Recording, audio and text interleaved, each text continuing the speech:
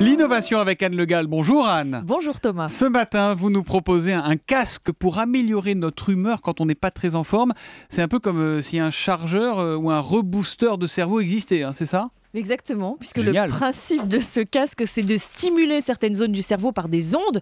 Ce casque transmet donc soit des ultrations, soit des signaux électriques. Et il devrait y avoir trois types de programmes au choix pour changer son humeur. Donc on peut demander au casque soit d'être euh, plus dynamique, plus détendu ou plus concentré. Incroyable. Et c'est efficace en quelques minutes, nous promet Think.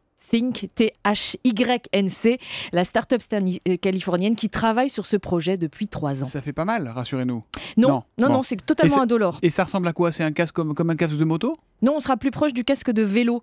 Euh, alors, Mm. euh, le problème, c'est qu'on sait que ce casque est censé être beau et compact, mais il n'y a aucune photo, puisque bien que la commercialisation soit prévue pour 2015 l'année prochaine, la start-up entretient un vrai mystère autour de ce projet très confidentiel. On sait juste que 2000 personnes ont testé ce casque et que 13 millions de dollars ont été investis dans le projet. Dis donc, mais c'est pas dangereux d'exposer comme ça son, son cerveau à, à des ondes, même si c'est pour nous mettre de bons poils, hein, c'est pour la bonne cause, on a compris. Mais- A priori, non, puisque euh, ces ondes et cette technique est déjà utilisée par des médecins actuellement. C'est ce qu'on appelle la stimulation transcrânienne à courant direct ou continu.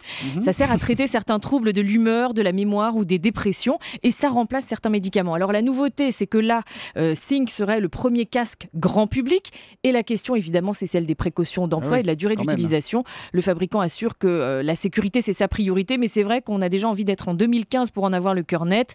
Et en attendant, eh bien, pour euh, se détendre, il nous reste euh, le sport, le rire, la musique et puis euh, le café pour se réveiller. Oui, Julie en est à son sixième ce matin, sixième café. Des cas, des cas, ça va. Des cas. L'innovation avec Anne Le Gall tous les matins sur Europe 1 demain. Anne.